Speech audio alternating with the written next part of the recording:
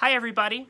My apologies for having this video up as late as I did. I unfortunately had a major family emergency come up. Thankfully, that emergency has mostly resolved itself. Um, so thank you for your patience in waiting for that video. Um, as a couple reminders, uh, I have given you some extensions on a couple assignments and I posted those on the front page of Canvas.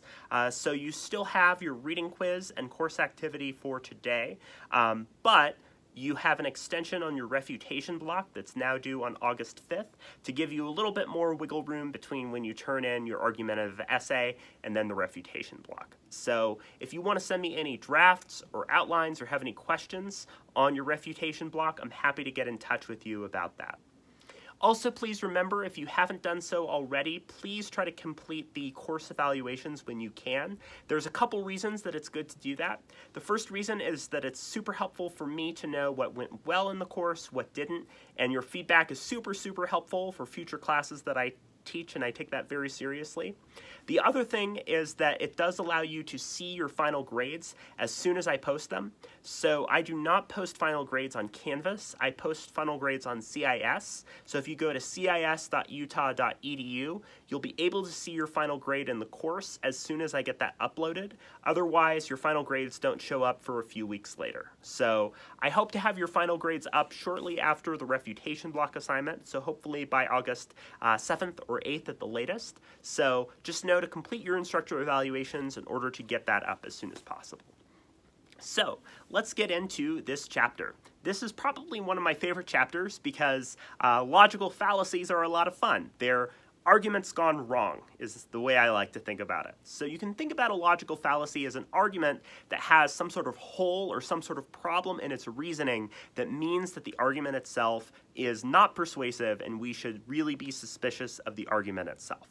And in the year 2019, we see a lot of logical fallacies everywhere. So thinking about what makes an argument fallacious or just not persuasive or compelling because it has a flaw structurally is a really good way to think about this chapter. We know what good argumentation looks like, now we know what bad argumentation looks like from this chapter. Similarly to the refutation chapter, there's a four-step process in order to refute a logical fallacy. First, you identify what the logical fallacy is that somebody made. Second, you explain what makes that a logical fallacy. You offer your own assessment. Third, you back up and explain why that logical fallacy is a bad one. And then fourth, you explain why that undermines or refutes your opponent's argument. So as we talked about previously, it's that same four-step model, but as applied to logical fallacies, says because this argument is fallacious, this argument is just not persuasive and we shouldn't believe it. So let's talk about some of the fallacies that this chapter really gets into. So one of perhaps the most famous logical fallacies is the ad hominem, or the tu quoque. So the ad hominem fallacy attacks the character of the person rather than the argument that they're trying to make.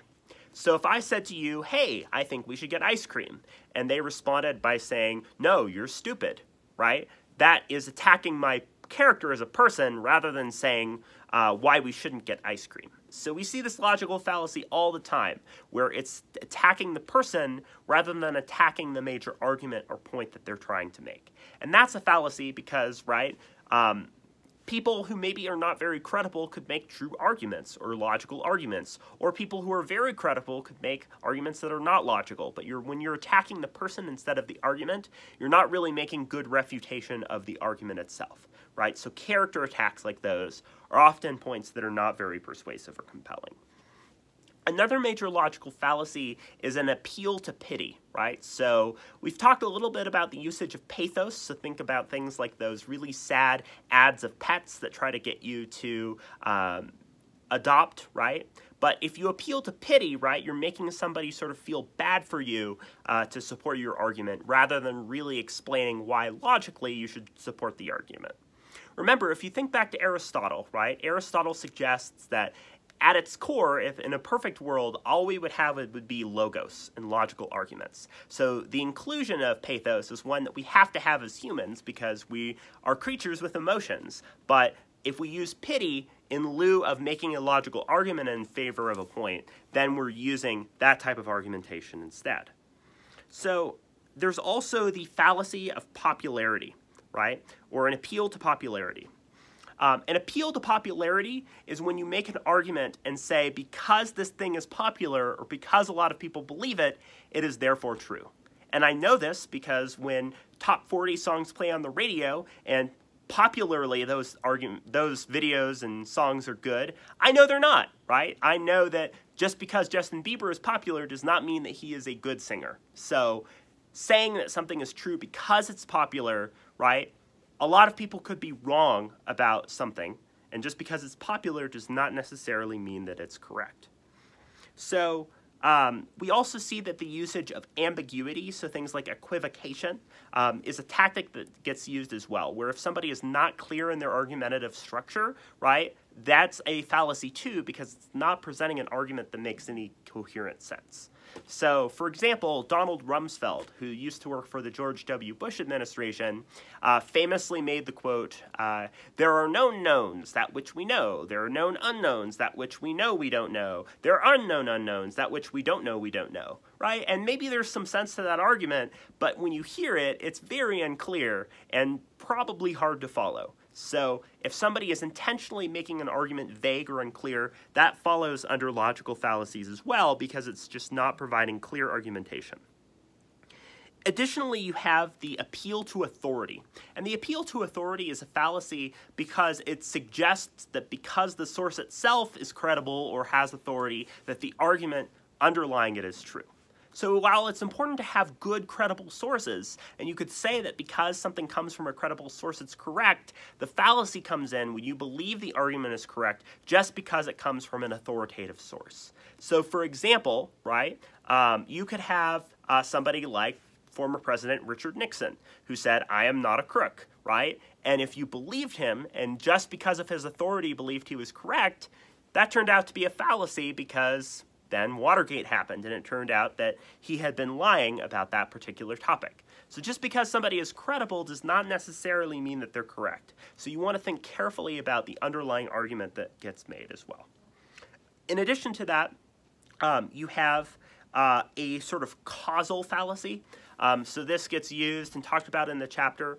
Um, so this idea is that just because one thing is related to another in time and space does not necessarily mean that it causes another thing. Correlation is not causation.